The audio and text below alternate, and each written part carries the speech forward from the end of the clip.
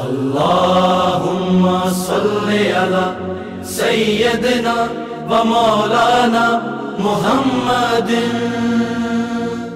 اللهم صل على سيدنا کا تقاضا ہے۔ سورہ، بہت ساری جگہوں پہ ہے۔ ولو یؤاخذ اللہ الناس بما کسبوا ما ترک علی ظہرها من دابہ اگر اللہ تعالیٰ انسانوں کو ان کے کرتوت کی بنیاد پکڑتا ہے تو پھر اس دھرتی پہ کوئی زندہ رہ نہیں سکتا تھا۔ چل نہیں سکتا تھا۔ چلتا پھرتا انسان تم کو نظر نہیں آتا۔ لیکن کیا کرتا ہے وہ؟ اس کی رحیمی ہے یہ۔ کیا؟ کہ وہ بخشتا رہتا ہے، چھوٹ دیتا رہتا ہے، مہلت دیتا رہتا ہے۔ تو یہ ہے اس کو رحمان اور رحیم۔ تسلسل کے ساتھ حد سے زیادہ مہربانی کرتا جاتا ہے۔ انسان گستاخیاں کر رہا ہے۔ شرارتیں کر رہا ہے، بلکہ قدم قدم اس کو چیلنج کر رہا ہے۔ اس کی خدائی کو چیلنج کر رہا ہے، دیکھیے۔ قدم قدم پر چیلنج کر رہا ہے۔ مگر وہ ہے کیا؟ نظر انداز کرتا چلا جا رہا ہے نظر انداز مہربانی کرتا چلا جا رہا ہے، چھوٹ پہ چھوٹ دیتا چلا جا رہا ہے۔ کیوں؟ وجہ کیا ہے؟ چھوٹ کیوں مل رہی ہے؟ وہ رحمان ہے اور وہ رحیم ہے۔ بعض ہمارے مفسرین فرماتے ہیں رحمان فی دنیا رحیم فی الاخرہ یہ بھی یہ بھی تفصیل آپ دیکھیں گے۔ رحمان فی دنیا رحیم فی الاخرہ کیوں انہوں نے یہ سمجھا ہے اس بنیاد پر کہ چونکہ اللہ تعالیٰ کی رحیمی جو ہے وہ قیامت میں ہے اور وہ کن کن مومنین کے لیے۔ سمجھ گئے کہ نہیں آپ؟ آخرت میں رحیمی ہوگی مطلب دنیا میں ہر ایک کے ساتھ رحمان ہے نا؟ کافر بھی مشرق بھی، مومن سب کے ساتھ ہے۔ لیکن آخرت جب ہوگی تو وہاں اس کی رحیمی ہوگی، اس کی رحمانیت نہیں ہوگی۔ تو اس بنیاد وہ کہتے ہیں کہ خدا رحیم ہے، وہ آخرت میں رحم فرمائے گا۔ کس پر؟ صرف اور صرف مسلمانوں پر۔ یہ ایک نقطہ نظر ہے ہمارے مفسرین کا۔ تمام مفسر نہیں، لیکن یہ ایک گھروں ہمارا کہتا ہے۔ کیونکہ آیت کریمہ ہے، سورہ توبہ کے ہے نا، لقد جاکم رسول من انفسکم عزیز علیہ ما عنتم حریص علیکم بالمؤمنین رعوف الرحیم کہ مسلمانوں پر کیا ہے؟ رعوف ہے رحیم ہے۔ ٹھیک ہے نا؟ تو ظاہر وہ کہتے ہیں کہ اللہ تعالیٰ جو وہاں بتا رہا ہے کہ وہ حالانکہ وہاں وہاں صفت کس کی ہے؟ نبی صلی اللہ علیہ وسلم۔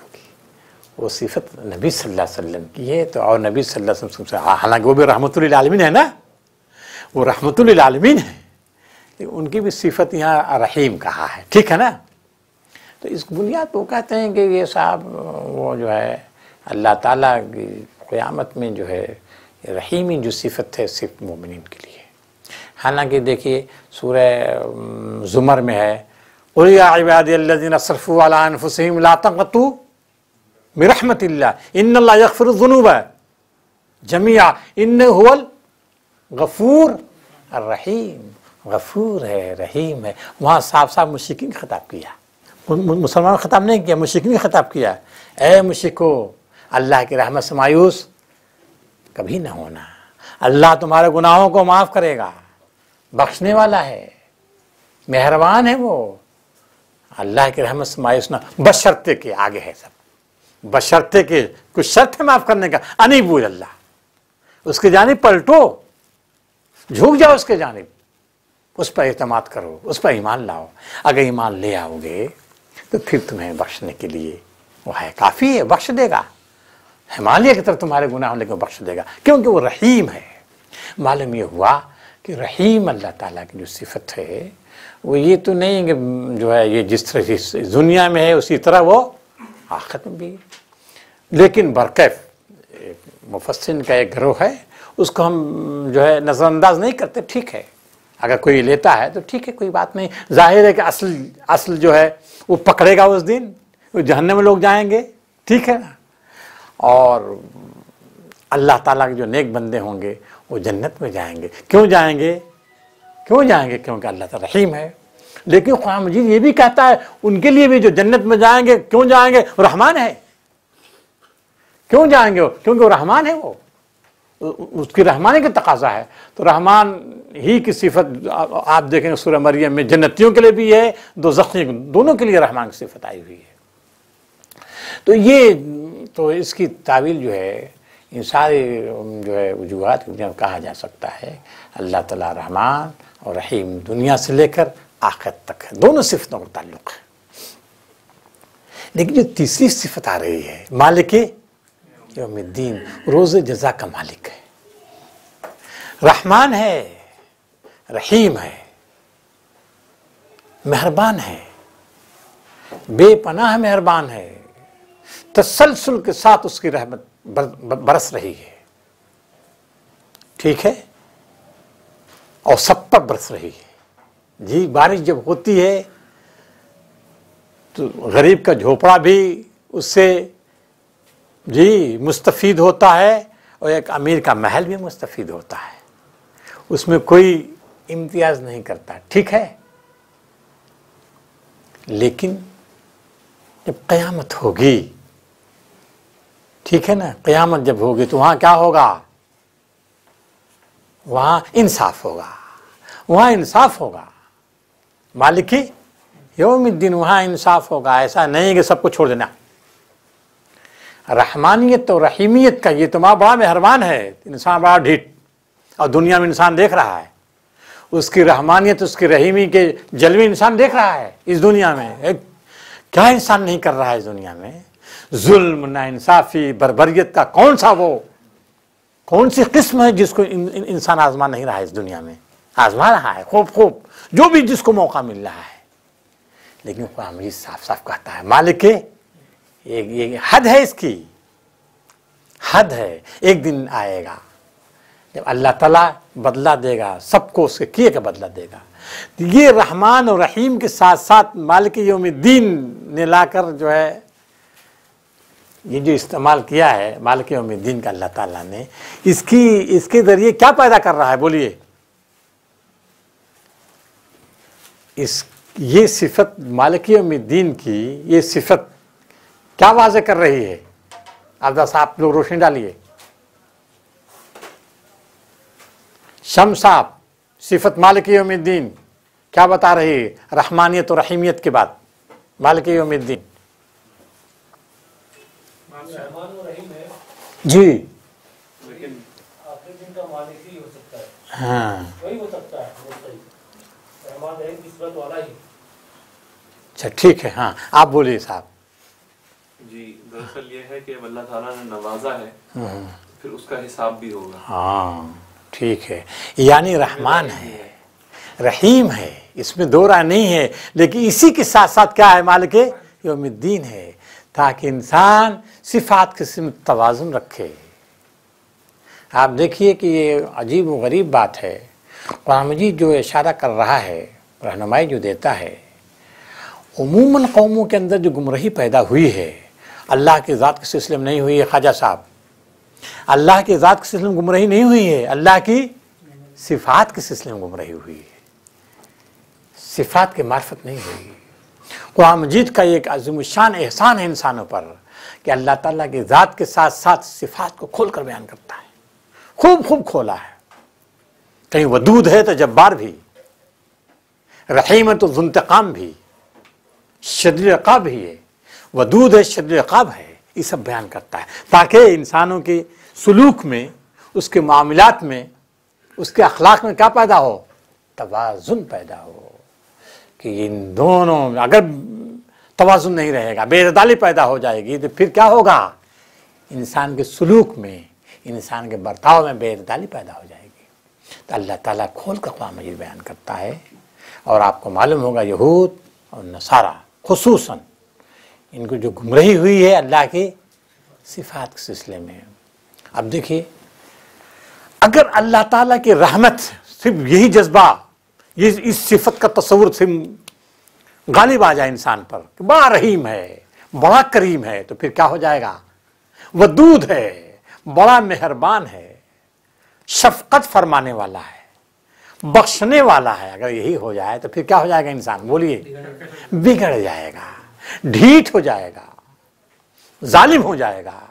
کوئی حد نہیں رہے گی اس کو روکنے کی۔ رک نہیں سکتا انسان۔ ٹھیک ہے نا؟ لیکن اس رحیمی کے ساتھ ساتھ مالک یوم دین روز جزاک تنہا مالک ہے۔ کوئی آگے نہیں بڑھ سکتا اس کے سامنے۔ تو پھر کیا ہوگا؟ بولیے۔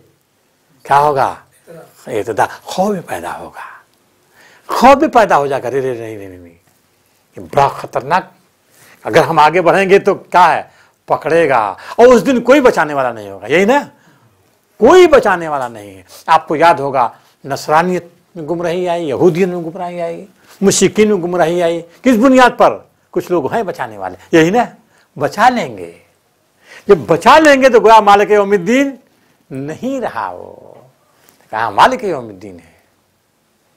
روز جزک تنہا مالک ہے۔ کوئی بچا نہیں سکتا۔ اور آپ کو معلوم ہے، یہ تو سورہ فاتحہ چل رہی ہے نا۔ قرآن مجید صاحب، آپ دیکھیں، لا تکلمون اس کے سامنے کوئی زبان نہیں کھول سکتا۔ اللہ من عزل الہ الرحمٰن، مگر وہی جس کو رحمان، یہی رحمان، جس کو اجازت دے گا بولنے کی۔ اللہ من عزل الہ الرحمٰن۔ وقالا ثواب وہ جو کہے گا، جس کو اجازت دے گا، وہ سچی بات کہے گا۔ کوئی غلط بات نہیں کہہ سکتا۔ یہ شفاعت کہاں کر دیجیے گا؟ ایسا نہیں ہو سکتا۔ کوئی زبان کھول نہیں سکتا اپنی۔ یہ قرآن مجید تصور دیتا ہے۔ اسی کو حضرت عمر نے اور کھولا ہے صاحب۔ حضرت عمر نے کھولا ہے، رضی اللہ تعالیٰ عنہ۔ حضرت عمر فرماتے ہیں، مشہور کا قول ہے قیامت دن اگر یہ اعلان ہو جائے کہ جتنے گناہ گار ہیں سب بخش دیے گئے، صرف ایک باقی رہ گیا۔ صرف ایک باقی ہے، جس جس کی بخشائش نہیں ہو سکتی۔ تو عمر کیا سمجھے گا؟ کہ وہ عمر ہی کی ذات ہے۔ عمر کی ذات ہے۔ یہ کس چیز کا غلبہ ہے؟ خوف کا۔ ٹھیک ہے نا؟ یہ خوف کا۔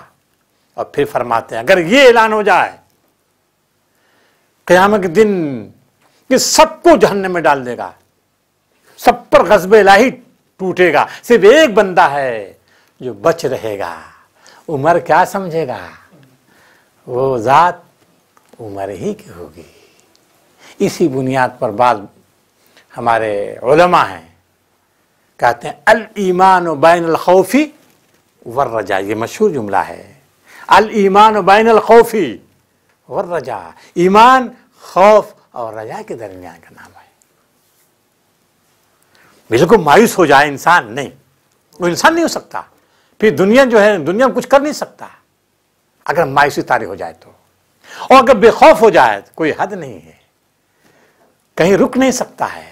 اس وجہ سے انسان کو حد دال میں رکھنے کے لیے ضروری ہے کیا؟ رحمانیت رحیمی کے غیر معمولی، غیر متزلزل یقین اور اسی کے ساتھ ساتھ مالک یومی وہی قہار ہے، وہی جبار ہے، وہی منتقم ہے، اس کا احساس، اس کا استحزار ہر وقت یہ بھی ناگزیر ہے۔ قرآن مجید جو ہے، آپ دیکھیے، پہلی آیت میں اس کو بیان کیا ہے، کھول کر بیان کر دیا۔ انسان کے اندر اگر توازن پیدا ہوگا تو یہی صفات پیدا کر سکتا دونوں، رحیمی اور اور مالک یہ امید دیں گے جو تصور رہے کہ روز جزا کا مالک ہے تنہا وہ پکڑے گا اگر کہیں غلطی ہو جائے گی۔ یہ بنیادی نقطہ بیان کیا پہلے آیت میں۔ جب یہ احساس پیدا ہو جائے، وہ رب رب ہے، مالک ہے پالن ہار ہے، کارساز ہے جی مدبر ہے، منتظم ہے جی لاگیور ہے، قانون دینے والا ہے، حکمرانی کے اصول دیتا وہی ہے۔ اور پھر رحمان ہے اور پھر رحیم ہے اور اسی کے ساتھ ساتھ روز جزا کا تنہا مالک ہے۔ پھر دل سے آواز کیا نکلے گی بولیے؟ اب دل سے آواز کیا نکلے گی اس کے بعد جب یہ معرفت حاصل ہو گئی؟ ای یا کا نام بدو ای یا کا نام بدو ہم تیری ہی بندی کرتے ہیں۔ اب یہ پیشانی، یہ تیرا شکر جب ہے۔ جی یہ احسانات احسانات کے نیچے ہم دبے ہوئے ہیں۔ آزواز دبا ہوا ہے۔ تو پھر انسان کی دل کی آواز ہوگی، یا کا نام وہ تو تو رب ہے، تو ہی رحمان ہے، تو ہی رحیم ہے، تیرا ہی چلے گا قیامت کے دن۔ تو پھر یہ پیشانی کہیں اور جھک نہیں سکتی، کسی اور کے در پہ جھک نہیں سکتی۔ یہ جھکے گی تو کس کے سامنے؟ صرف تیری ایا کا نام بدو اور پھر دوسرا جملہ، وہ ایا یہ بھکاری بھی تیرے در کی بھکاری ہاتھ نہیں پھیلا سکتی۔ یہ مخلوق ہاتھ نہیں پھیلا سکتی کسی اور کے سامنے۔ صرف ہاتھ بھی پھیلائے گی تیرے, سامنے۔ یا ایھا الناس انتم الفقراء اللہ۔ واللہ هو الغنی الحمید۔ لوگو تم اللہ کے محتاج ہو۔ تو یہ بندے منہ میں دل کی پکار ہے۔ یہ عبادت و بندگی اس کے دل کی پکار ہے۔ فطرت کی آواز ہے۔ کس دل کی فطرت کی آواز ہے؟ کس دل کی؟ کیسے جی؟ ہاں جس کے اندر جذبہ شکر ہے۔ احسان شناسی کا جذبہ ہے۔ احسان شناسی جیسا ہم نے بتا یہی کیا ہے؟ اصل ہے۔ اگر یہ نہیں ہے تو پھر انسان اور جانور میں کوئی فرق نہیں ہے۔ انسان انسان ہے، جانور جانور ہے۔ جب یہ پیدا ہوگا تو پھر ایا کا نابود اسی بنیاد پہ کہتے ہیں نا کہ توحید فطرت کی آواز ہے۔ آپ نے کہا توحید ہے نا؟ بالکل ٹھیک ہے۔ توحید ہے اس میں۔ توحید فطرت کی آواز ہے۔ اب آپ دیکھیے شکر کہے گا تو اس کے مضامین کل کتنے ہیں؟ پورے قرآن مجید کے مضامین کتنے ہیں؟ معلوم ہے آپ لوگوں کو؟ پورے قرآن مجید کے مضامین کتنے ہیں؟ تین۔ بنیادی مضامین۔ بہت سے مضامین اس کے ہیں لیکن بنیادی مضامین کتنے ہیں؟ تین کون؟ توحید رسالت آخرت۔ توحید رسالت آخرت۔ ٹھیک ہے۔ اللہ کی معرفت کے ساتھ ساتھ جزا کی بات ہو گئی مالک یوم الدین۔ اب پھر کیا ہو گیا آپ آخر میں؟ یا توحید ہوئی یا کا نام بدو ہم تیری ہی، اب دیکھیے ایک اور بھی اسلوب۔ ہم تیری بندگی نہیں کر رہے ہیں، بلکہ ہم تیری ہی بندگی۔ تیری ہی بندگی، یہ تیری ہی بندگی کیا ہے؟ ہاں؟ کوئی دوسرا نہیں، یہ پیشانی تیرے رات کسی کے سامنے جھک سکتی۔ یا کا نام وہ یا کا نستعین، اور ہی سب تجھی سے مدد چاہتے ہیں، تجھی سے مدد چاہتے ہیں۔ اب مدد کے لیے کسی اور کے سامنے انسان ہاتھ پھیلائے، مناسب ہے؟ بولیے، نہیں۔ مدد بھی مدد کے لیے اللہ تعالیٰ ہی سے درخواست کرے گا۔ مدد کس سلسلے میں مانگے گا وہ؟ جی کس چیز کے سلسلے میں مدد مانگے؟ انسان محتاج ہے کس چیز کے سلسلے میں؟ بتا سکتے ہاں دنیاوی ضرورت اور دینی ضرورت دونوں بھی یہ دنیاوی ضرورت بھی اور دینی ضرورت بھی کہی ہے۔ کسی بھی وہ تو نبی صلی اللہ علیہ وسلم ارشاد ہے نا۔ اگر جوتے کا تسمہ ٹوٹے تو مدد کرو مانگو۔ مدد طلب کرو کس سے؟ اللہ تعالیٰ یہ ہے نا۔ دنیا بھی کہہ لیجیے اور آخرت۔ حسنا تو دونوں کی۔ ٹھیک ہے نا۔ ایا کا نابدو و ایا کا ہم تیری ہی بندگی کرتے ہیں۔ اور تجھی سے مدد چاہتے ہیں۔ اب دیکھیے، وہ نماز میں یہی سورہ پڑھتے ہیں زیادہ نا؟ کہ نہیں؟ کیوں پڑھتے ہیں؟ نماز کیوں پڑھی جاتی ہے؟ نماز ہے کیا؟ تھوڑے سے اتنا ہم نے بتا دیا، اب تو آپ لوگ بتا دیں نماز ہے کیا چیز؟ عبادت ہے۔ کیوں ہے عبادت؟ کس چیز کی تسکین؟ کون سا جذبہ کام کر رہا ہے یہاں؟ شکر۔ شکر ہے۔ نماز، شکر۔ یہ کائنات دی اس نے، بولیے، پوری کائنات دی۔ اس کا کچھ تقاضا ہے؟ کیا؟ شکر ہے۔ شکر تقاضا ہے اس کا۔ اس نے دی، ہمیں زمین دی، ہمیں آسمان دیا، سورج دیا، چاند دیا، ستارے دیے۔ جی انبیاء دیے، رہنمائی کے لیے کتاب دی، ہماری پیدائش کے ذریعے ہمارے ماں باپ دیے۔ اس سب کا تقاضا کیا ہے؟ شکر ہے۔ اور یہ شکر میں کیا ہے؟ ناچنا، گانا یہ نہیں، بلکہ کیا ہے؟ رقص سرود نہیں، بلکہ پیشانی جھکا دینا جھکا دینا۔ اور اس سلسلے میں رہنمائی کی طلب کیسے جھکائیں؟ پیشانی کیسے جھکیں؟ ہم کون سا طریقہ اختیار کریں؟ بولیے یا کنستعین ہم ہم تیری ہی ہم تجھی سے مدد چاہتے ہیں۔ جی؟ ہاں ہم تجھی سے مدد چاہتے ہیں۔ اس وجہ سے آپ جب نماز میں نماز سے جب فارغ ہو جاتے ہیں تو کیا دعا پڑھتے ہیں؟ بولیے۔ نبی صلی اللہ علیہ وسلم سے جو مصنون دعائیں منقول ہیں کیا السلام۔ ٹھیک ہے یہ سب بھی۔ اور ایک دعا ہے مشہور بخاری کی روایت مسلم کی روایت۔ اللہ آئینہ علی ذکر کا و شکر کا اور آگے وہ حسن ہاں حسن۔ اللہ ہماری مدد فرما۔ اب دیکھیں نبی صلی اللہ علیہ وسلم استنباد کیا کس نے؟ اے اللہ آئین نہ اعلیٰ ذکر تو اپنے ذکر کے ہمیں، ہم کیسے تیرا ذکر کریں؟ ہماری مدد فرما۔ وہ شکر کا ہم تیرا شکر کیسے ادا کریں؟ مدد فرما۔ اور وہ حسن اور تیری بہترین بندگی کیسے کریں ہم؟ بہترین بندگی کیسے کریں؟ ہماری مدد فرما۔ یہ اسی بنیاد پر ہے وہ۔ اللہ کے رسول جو فرمایا کرتے تھے۔ تو گویا کی بندگی ہی کے سلسلے میں ویا کنستعین ہم تیری بندگی کیسے کریں؟ اگر تو توفیق نہیں دے گا، تو رہنمائی نہیں کرے گا، ہم تیری بندگی نہیں کر سکتے۔ یا کا نام بدو وہ یا کا پھر آگے اسی کو بڑھایا ہے۔ اہدنس اب سرات مستقیم کی ہمیں رہنمائی فرما۔ کیوں؟ کیوں یہ بندہ مومن دعا کرتا ہے؟ اخلاص کے ساتھ دعا کرتا ہے۔ اپنے آپ کو خدا کے سامنے ایک دم سے ڈال دیتا ہے۔ کہا تیری رہنمائی۔ کیوں؟ اہ دن سرات المستقیم، ہمیں سرات مستقیم میں رہنمائی فرما۔ کیوں اتنے الہا کے ساتھ؟ اتنے اصرار کے ساتھ؟ اتنی دل سوزی کے ساتھ اللہ سے دعا مانگتا ہے کہ سرات مستقیم رہنمائی۔ کیوں سرات مستقیم میں دعا کر رہا ہے؟ بولیے ابدا صاحب۔ اب بتائیے۔ سرات مستقیم میں دعا کر رہا ہے وہ۔ ہمیں سیدھا راستہ دکھا۔ اسی میں کامیابی۔ کامیابی اسی میں۔ بھٹکنے سے بچا۔ کیوں؟ کیونکہ ابھی جو شروع بتایا تھا ہم نے۔ شیطان کہا کیا کہا تھا شیطان نے؟ اور ہم بیٹھیں گے کہاں بیٹھیں گے؟ گھات لگا کر۔ قعدہ لام کے معنی قعدہ لہو، جب لغت میں دیکھیں گے، گھات لگا کر بیٹھنا۔ ہم گھات لگا کے بیٹھیں، کہاں؟ سرات مستقیم پر گھات لگائیں گے۔ ہم اسی سرات مستقیم بھٹکائیں گے۔ کہہ رہے اللہ، شیطان لگا ہوا ہے اللہ۔ شیطان لگا ہوا ہے۔ اور اگر تیری توفیق نہیں ہوگی، تیرا سہارا نہیں ملے گا ہم کو، تیری دستگیری نہیں ہوگی، تو اللہ، ہم ایک قدم نہیں چل سکتے۔ بندے مومن اللہ کا حوالہ کرتا ہے۔ یہ دنس سراط المستقیم سیدھے راستے کو بتا دے۔ سیدھا راستہ دکھا دے ہم کو۔ وہ راستہ جس پر تیرا ان لوگوں کا راستہ جس پر تیرا انعام ہوا ہے۔ اب ظاہر ہے وہ راستہ کس کا راستہ ہے؟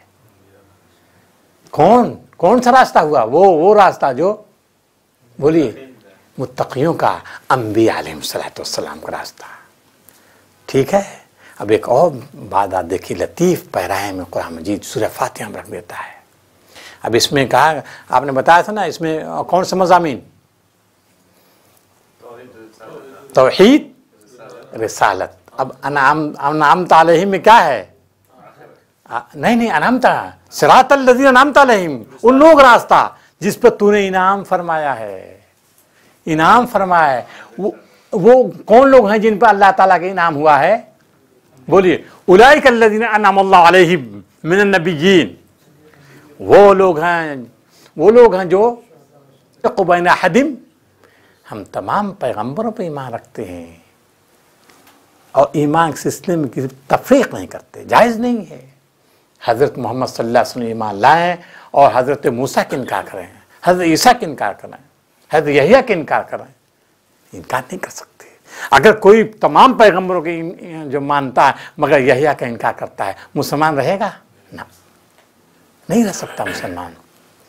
جو رسالت بولتے ہیں، رسالت، تو اس کا مطلب کیا ہے؟ وہ سلسلہ ہے۔ ایک کڑی ہے، کڑی، کڑیاں ہیں۔ تمام پیغمبروں پیغمبروں کو جوڑتی ہیں۔ جی یہ سلسلے رسالت پہ ایمان لانا ضروری ہے۔ جو یہ یہ خود آپ کی یہ سورہ رہنمائی کر رہی ہے۔ کہ وہ ان لوگوں کے راستے کی توفیق مانگتے ہیں۔ جن پر اللہ تو نے انعام کیا ہے۔ انعام علیہم، غیر المغضوب علیہم، ان لوگوں کا راستہ نہیں۔ جن پر تیرا غضب ہوا ہے۔ اور جو بھٹک کر رہ گئے ہیں۔ اللہ کا غضب کن لوگوں پر ہوا؟ جی؟ یہود و نصارہ۔ عموماً مفسرین لیتے ہیں۔ ترمیزی کی روایت ہے۔ امام ترمیزی نے نقل کیا ہے۔ ترمیزی کی روایت کی بنیاد پر یہ ہے کہ اللہ کے رسول نے فرمایا ہے کہ مغضوب علیہم سے مراد کیا ہے؟ یہود۔ بلدالین سے مراد کون ہے؟ نصارہ۔ ترمیزی کی روایت کی بنیاد پر۔ لیکن وہیں ہمارے مفسرین اس کی تشریح کرتے ہیں کہ لفظ قرآن مجید نے نہیں کہا نا کہ یہود۔ قرآن مجید نے نسا نہیں کہا ہے۔ اس وجہ سے کہتے ہیں کہ یہ عام رہے گا۔ عام رہے گا یہ۔ وہ تمام قومیں جن پر اللہ غضب ٹوٹا ہے۔ وہ تمام قومیں جو گمراہ ہوئی ہیں، سب سے پناہ مانگتے ہیں۔ اور بندے مومن اللہ درخواست کرتا ہے، ان لوگوں کا راستہ ہمیں نہیں چاہیے، جن پہ تیرا غضب ٹوٹا ہے۔ اور جو بھٹک کر رہ گئے ہیں۔ یہ گویا کہ ہمارے مطلب کیونکہ عام ہے لہذا عمومیت کا تقاضا یہ ہے کہ اس کو عام ہی رکھا جائے۔ البتہ اس میں یہود نصارہ بھی شامل ہوں جب عام ہو گیا تو کیا ہوا مطلب؟ یہود نصارہ بھی اس میں شامل ہیں۔ کیونکہ قرآن مجید عام ہے، عام اس کا اسلوب ہے اس وجہ سے وہ عام رکھتے ہیں۔ تو آپ نے دیکھا کہ ایک خاص انداز چلا ہے قرآن مجید۔ بنیاد کس کو بنایا پہلے؟ شکر۔ اور پھر وہیں سے بنایا کہ اس کے بعد توحید۔ جی توحید پر ایمان، رسالت پہ ایمان آخر پہ ایمان کا جذبہ پیدا ہوگا۔ اگر شکر کا جذبہ نہیں ہے توحید بھی مکمل نہیں ہو سکتی، سلسلے رسالت بھی ناقص ہوگا اور آخر پر بھی ایمان نہیں ہو سکتا۔ تو جذبہ شکر کو بے پناہ اہمیت دی ہے قرآن مجید نے۔ اور آپ دیکھیں گے یہ پہلو، اب جب ہم شروع کریں گے انشاءاللہ، وہ جو دوسری صورتیں ہیں، اس میں یہ پہلو ابھرے گا انشاءاللہ۔ اس پر ہم جو ہے تفصیل روشنی ڈالیں گے۔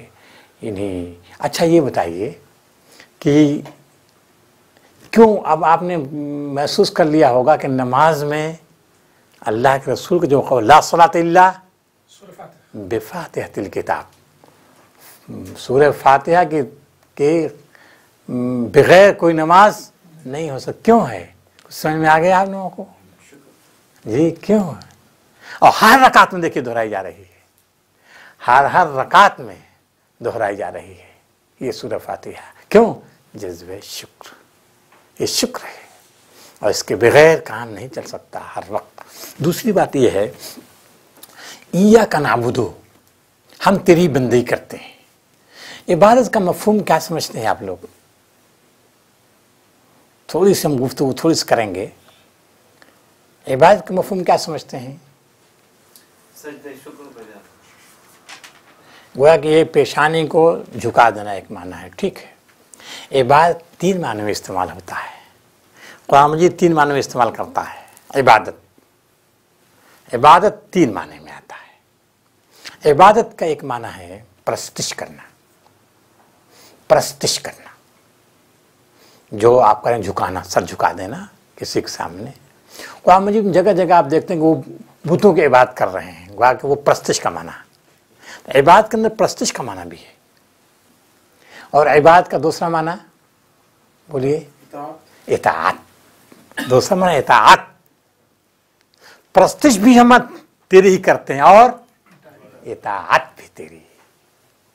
اطاعت بھی تیری۔ اور تیسرا معنی کیا ہے؟ تیسرا معنی کیا ہے؟ ماننا۔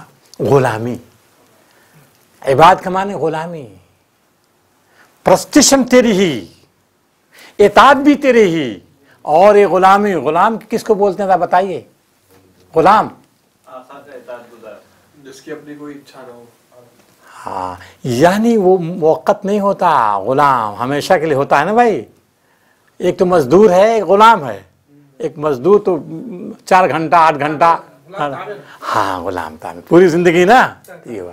معلوم یہ ہوا پرستش بھی ہم تیری ہی کریں گے۔ اور اطاعت بھی تیری ہی۔ اور اطاعت محدود نہیں، بلکہ غلام یعنی ہمیشہ ہمیشہ کریں گے۔ تیری ہی بندگی، تیری ہی اطاعت۔ ہماری زندگی کوئی لمحہ تیری اطاعت سے خالی نہیں ہو سکتا۔ یہ جھکے گا تو صرف تیرے سامنے جھکے گا۔ اور ایسا نہیں کہ سال میں ایک آنکھ مرتے ایک مہینہ ایسا نہیں ہے، بلکہ ہم ہمیشہ تیرے غلام رہیں گے۔ یہ پرستش ہم مسجد میں بھی کریں گے اور پھر اطاعت بازاروں میں، منڈیوں میں، زندگی کے تمام دائروں میں تیری ہی اطاعت کریں گے۔ اور تیری ہی غلامی بھی کریں، کسی اور غلامی جائز نہیں یہ تینوں معنی ہے اور قرآن مجید آپ پھیلا ہوا دیکھیں گے۔ عبادت پرستش بھی، اطاعت بھی اور غلامی تینوں معنی ہے دوسری بات یہ ہے کہ ہم تجھے سے مدد چاہتے ہیں۔ ٹھیک ہے نا؟ یہ بات ہوئی۔ اس سے پہلے آپ نے دیکھا ہوگا، اگر آپ لوگوں کو یاد ہوگا کہ جو ہے، پہلے جو ہے، ایک ترجمہ قرآن یہاں سے شائع ہو رہا تھا۔ کہاں سے؟ یہ مولانا مولانا شیخ الہند صاحب کا جو ترجمہ تھا نا محمد حسن صاحب کا دیکھا ہوگا بہت ہندوستان میں۔ پھر اس پر بینڈ لگ گئی۔ جانتے کیوں بینڈ لگی؟ معلوم ہے؟ کیوں بینڈ لگی؟ نہیں استعانت کے مفہوم پر۔ انہوں نے سورہ فاتحہ میں لکھا ہے۔ اور پھر وہیں سے مرشدین کا تصور اور شیخ کا تصور لے آئے ہیں وہ اس میں اگر آپ کے پاس ہو، آپ لوگ دار نوٹ دیکھیے گا استعانت پر۔ اس سے ان کے کان کھڑے ہو گئے۔ سمجھ گئے کہ نہیں آپ؟ کہہ رہی رہی یہ تو توحید کی۔ اور اس میں کہہ دیا کہ ان لوگوں سے بھی استعانت جائز۔ غیر اللہ سے استعانت بعض بعض وضو انہوں نے کہتے جائز ہے۔ ایک خاص انداز ان کا ہے وہ۔ سمجھ میں آئی انہوں نے وہ، وہاں جو انہوں نے وہ کر دیا ہے۔ اب اس کی بنیاد پر ان کے انہوں نے اس کو، ہم نے سنا ہے۔ یہ واللہ عالم، اس معلوم نہیں۔ یہ اس کو تو ہم نے پڑھا ہے لیکن یہ کہا کہ اسی اسی پر ان لوگوں نے پیش کیا کہ نہیں دیکھیے صحیح نہیں ہے۔ جی بند ہو گیا اور بند ہو گیا نا اب وہ بند ہو گیا۔ وہ- تو یہ استعانت کا کا مفہوم تھا۔ اور استعانت کی بنیاد تو وہ پیری مریدی کا سلسلہ جو انہوں نے چھڑا تھا ان لوگوں نے اس کی بنیاد پر انہوں نے۔ تو یہ جو ہے پہلو ہم جو ہے صاف صاف استعانت اللہ تعالیٰ کی۔ ٹھیک ہے نا؟ عبادت بھی اسی کی اور استعانت بھی اسی سے کسی اور سے استعانت نہیں۔ البتہ یہ ظاہر ہے کہ ہاں مفہوم نہیں ہے کہ اگر آپ کو پیاس لگی ہے تو تم مانگیں گے تو یہ یہ تو ظاہریت نہیں ہے نا اس میں۔ بندگی، اطاعت کے سلسلے میں وہ ہے ہے کہ نہیں؟ استعانت۔ ورنہ اگر آپ کو اس طرح کے جو آ جائے، اور یہ وہاں اس کی وہ ہے بھی نہیں۔ مطلب سیاق کلام تو یہ نہیں، کوئی پانی مانگ رہا ہے کسی سے تو وہ تو بندگی نہیں نا بھائی، وہ تو شرک نہیں نا وہ۔ لیکن بندگی کے سلسلے میں وہ شرک ہو جاتا ہے۔ پتہ نہیں بات واضح ہوئی کہ نہیں ہماری؟ بھائی، اگر کسی کو پانی کی ضرورت ہے، آپ نے مانگ دیا کسی کو تو یہ سیانت ہے کہ نہیں؟ یہ مدد ہے نا؟ تو یہ کیا غیر اللہ سے مدد ہے؟ یہ نہ، وہ نہیں ہے بھائی، یہ تو تو وہاں عبادت کے سلسلے میں۔ اسی بنیاد پر ہم نے کہا یا کا نام دو وہ یا کا نستعین تیری ہی بندگی، آج تو کیسے بندگی کریں؟ کیسے ہم بندگی کریں تیری؟ اس میں تو ہی رہنما ہے۔ ٹھیک ہے کہ نہیں؟ کوئی اور رہنمائی نہیں کر سکتا۔